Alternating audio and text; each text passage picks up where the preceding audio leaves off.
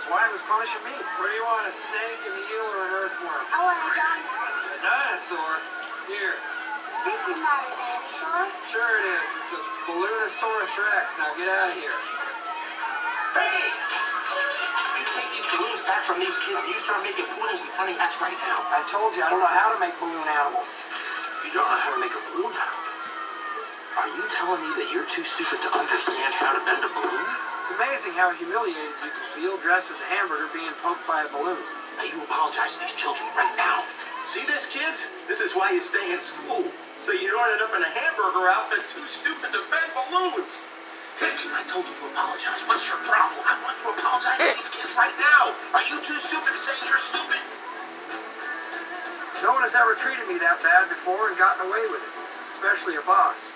But I stuck with Karma this long, so I knew I had to keep my cool.